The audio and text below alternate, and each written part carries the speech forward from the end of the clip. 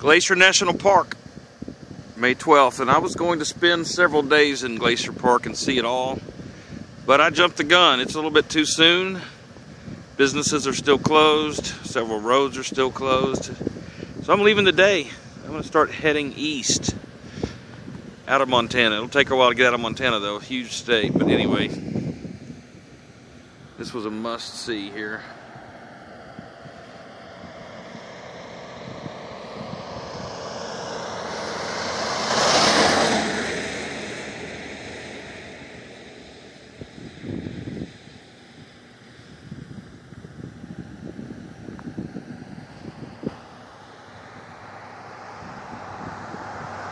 See ya.